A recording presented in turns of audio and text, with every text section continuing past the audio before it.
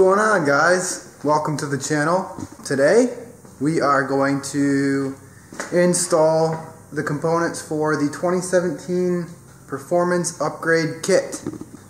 The larger fuel pump and the intercooler. Um, I am not going to be installing the exhaust portion because I have a free-flowing aftermarket exhaust already but you can find all of the instructions on how to do this straight on BRP's website. Um, I'll post a link directly to those instructions below um, so you can go ahead and check out how to do that on your own. But for now, uh, yeah, let's jump into this and see how far we can get.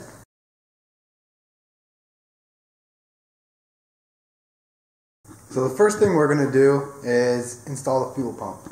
Um, I'm going to unhook my battery because fuel, vapor, and a possible spark is not a combination that I want to risk. So I highly recommend that before you get started on this that you unhook your battery as well.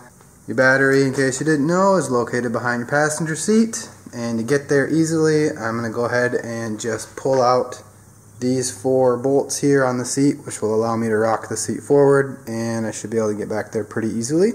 So the instructions say to get started on the fuel pump, we're going to take this panel off right here that's above the passenger side glove box. Fuel pump is located right under here. They recommend that it is less than a half tank full. It is a T27 Torx bit. You will pop these out around here, and then there's a couple pull pins right here. Uh, and then this thing should come off. So let's take a look at it.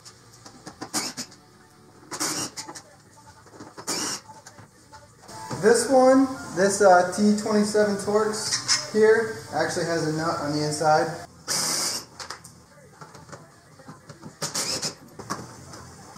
So there is a bolt here and a bolt here, and this piece should come right off. These look like they're 10 millimeter also.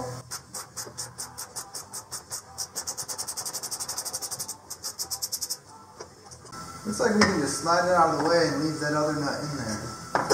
So when we get in here now, we're going to unhook the electrical connector to it, and then the fuel hose is right here.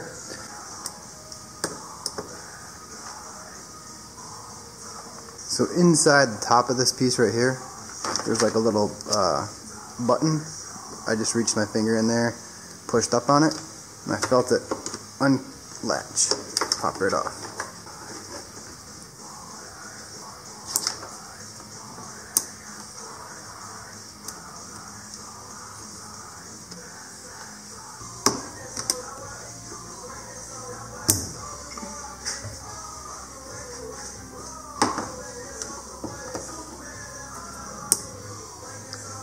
So inside here, once you get this red clip off on the fuel line, Inside there is another little black clip.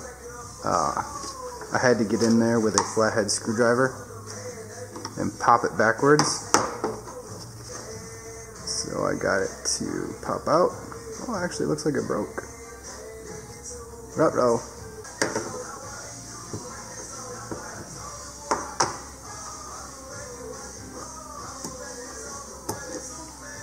Looks like it it was still holding, so if I can squeeze it back in, I might be alright. And there we go. Fuel line's off. Now you want to make sure that you don't get anything in here. So maybe get like a rag or something that you don't mind getting all stinky with gas. You're going to get rid of it and wrap the fuel line up. So the next piece is to remove this fuel pump locking ring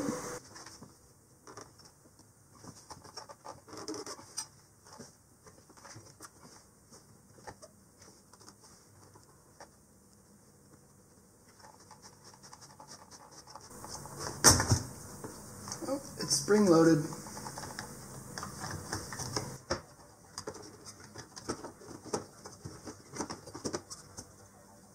See if we can't weasel this out of here without taking this plastic off.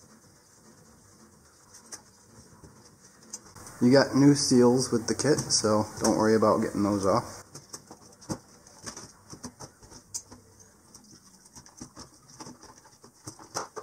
Old fuel pump out. So before we get started putting things back in, you want to make sure you wipe up the sealing area around here of any spilled fuel and dirt. At least to the best of your ability. So when we go and we grab the new fuel pump here, you'll want to find the bezel seal thing that comes with it. Uh, it should be in that little pack. And you'll want to put this on here with these little uh, bevel pieces pointing down this way.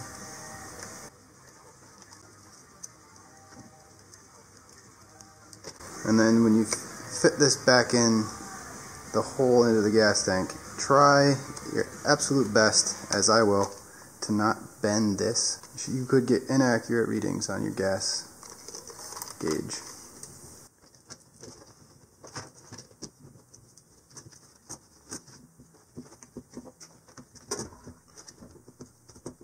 So it might be difficult to see, but just to point out, right here, let me dust it off, there's a line on the fuel tank. Proper orientation for the fuel fil the fuel pump.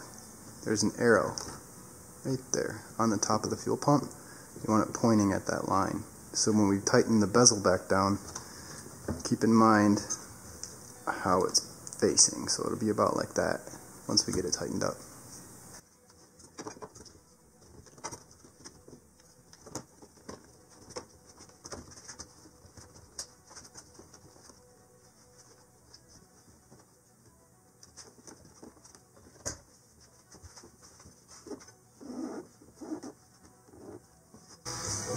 Got that all tightened down. Hook up the fuel line.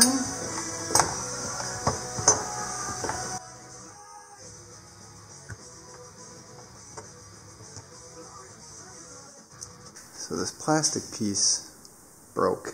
I'm hoping that I can get it in there anyways to have it do its job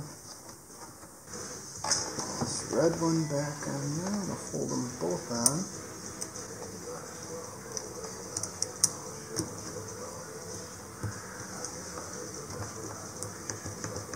Alright, it's on.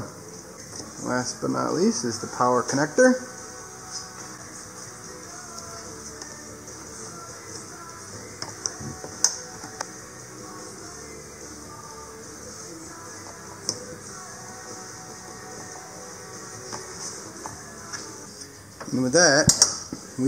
Put in the new fuel pump. I'm not going to button it all up um, because this thing is, this bezel is kind of, it's just awkward because there's under a lot of spring uh, tension from the fuel pump on the inside. And it's difficult to really know if it's going on evenly or if you're cross-threading it. Uh, so I'm going to leave it unbuttoned until we start it when the project is done to make sure that I'm getting good fuel pressure. Uh, there's no leaks or anything. So yeah, moving on to the intercooler.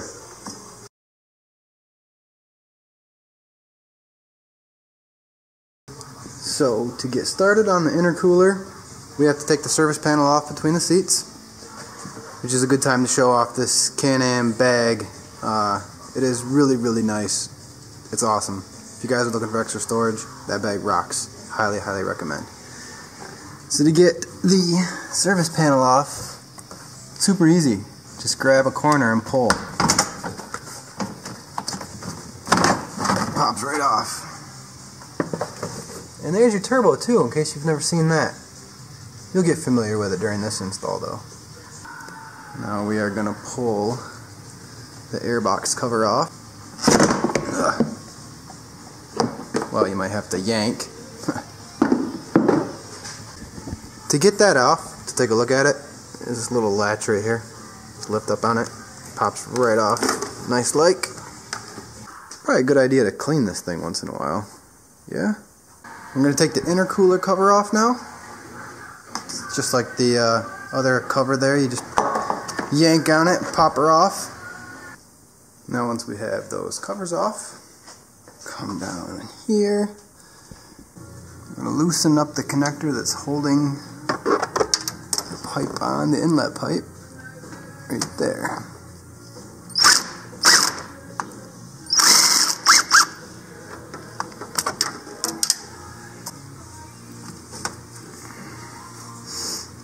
Very important that you don't let anything fall down inside here. So it's always a good idea to get some rags stuff those holes so nothing falls down, no dirt or anything. So apparently when I unhooked the uh, electrical for the intercooler, I neglected to turn on the camera. So it's already done. But this will actually kind of be what you're looking at. Uh, what you'll have to do is cut those um, zip ties. The kit does come with new zip ties. And on the other side of that hose is the um, intercooler connector. So you'll unhook it. And then when you hook up the new one, you just zip tie them right back up. And once we get that loosened up, you'll come in here and you'll want to loosen up the one on turbo.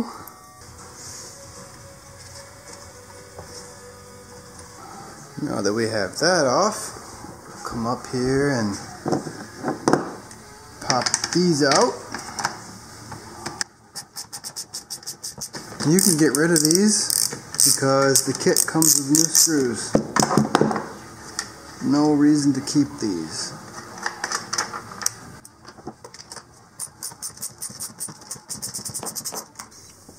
Now we're back in the cockpit to take off the last two bolts that are holding on the intercooler.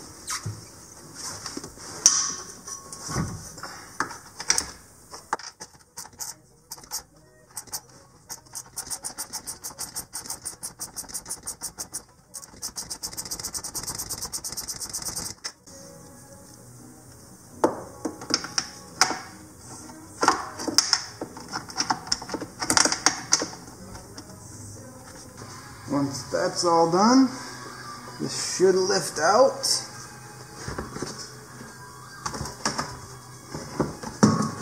Like that. Yep. Now we're going to want to pull this tube off to put on the other intercooler.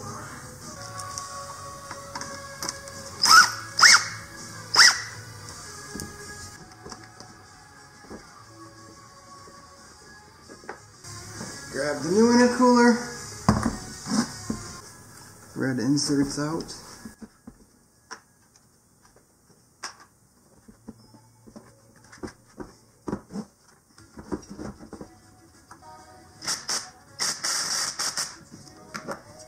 Reverse the process. Drop the new one in there. Now that we're back on this side,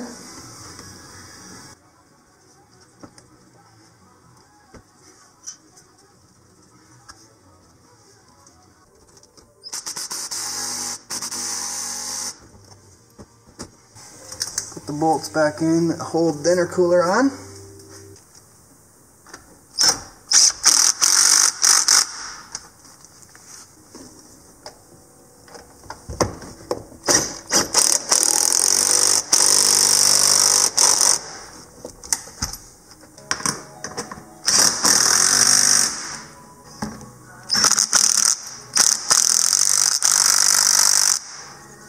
I'll hook up the uh, electrical connector underneath.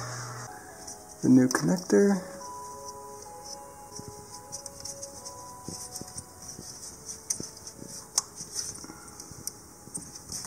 So now we get the new zip ties that came with the kit. Zip tie it back up to the charge pipe there. Now that we got the zip ties on, put the tube back on the other side of the intercooler.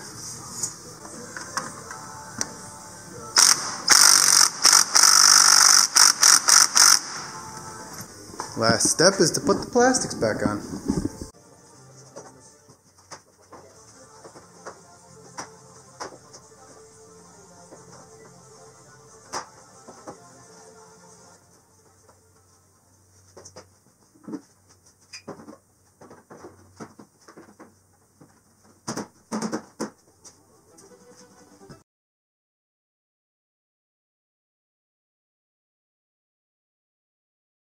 So on to adjusting the wastegate.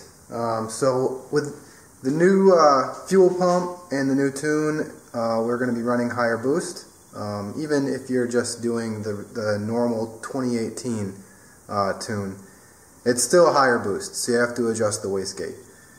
Um, and the wastegate has a little actuator on it that has a lock nut and then a screw piece. Um, I'll show you when we get in there. But for 2017 uh, X3 cars, stock wastegate crack pressure is six pounds. So we'll take off the vacuum line and then we'll put on we'll put on this vacuum hose where that line goes and then we'll crank up the pressure and then we should see the actuator move at six pounds. Um, and then for the 2018 tune, you don't, I mean, I guess technically you could get away without buying this. Uh, you could just go with what BRP suggests. We'll find out how accurate they are when we get in there. The actuator, they say if, when you tighten it two and a half turns, it should then equal seven pounds. Um, and seven pounds is what we want to be at for 2018. Let's uh, jump in there and see what it looks like. This is the wastegate, and this is the wastegate actuator. And this is the vacuum line. So the first thing you're going to want to do is there will be a clip on this. You'll have to cut it off. Um, there is a new clip that comes with the kit. So we'll pull this off. And then what we're going to do, we're going to hook the Mity Vac up to it um, to where it's putting pressure out, not creating a vacuum. And then we are going to be watching for the wastegate actuator to move. The first sign of movement should be at roughly 6 pounds. So we got the vacuum line hooked up. We got our Mity Vac pressure gauge here. So we're looking for the first sign of move movement on that wastegate actuator. Should be right around 6 pounds. Right there, just moved. Six pounds. That's good. That means mine's set properly. So in order to adjust that, we have to release this little clip, so don't lose it. And then turn, well, first we'll loosen this jam nut. And then we'll loosen up this clip. And then once this is off, the instructions say to tighten it two and a half turns. Two and a half turns should give us 7 psi which meaning means it should take 7 psi to open that. In order to get that jam nut, you're going to need 10 millimeter.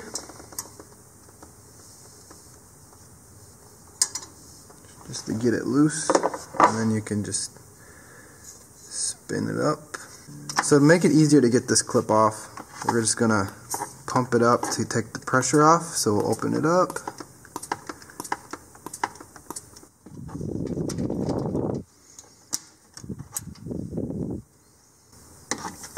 Don't lose that clip. Okay, now that's off. This says two and a half tight turns tight. One, two, and a half.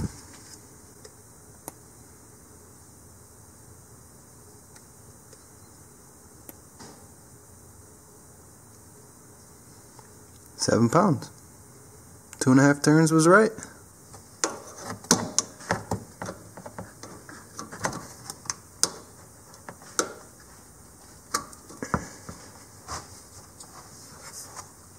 Moment of truth has arrived.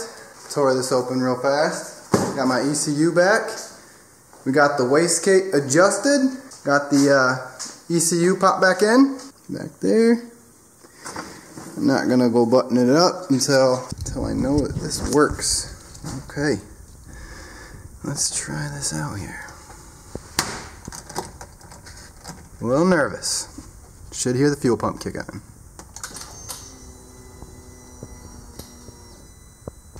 Okay, that's good. I heard the fuel pump pressurize.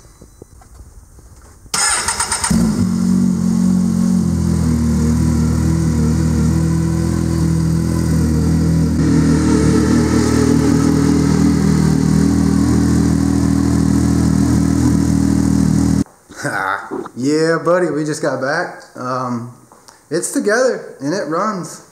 Um, yeah, so I got no complaints at all. We just did the 0 to 60. I'm not going to spoil it. That's going to be a different video. It is faster, and it better be, right, after all this work. Uh, hopefully this was informative and somewhat beneficial to you guys. Maybe some of you guys wanted to do this at home and check it out. Uh, like I said, I'm going to post a link to the BRP instructions down below as well. Yeah, thanks for uh, hanging out. Thanks for walking through this journey with me. Um, keep a lookout for that 0 to 60 video. Uh, and I'll see you in the trails. See you on the dunes next April. So the next garage episode, I think, uh, is going to be shock therapy. So be on the lookout for that one. Um, so yeah. Thanks for stopping by. See you soon.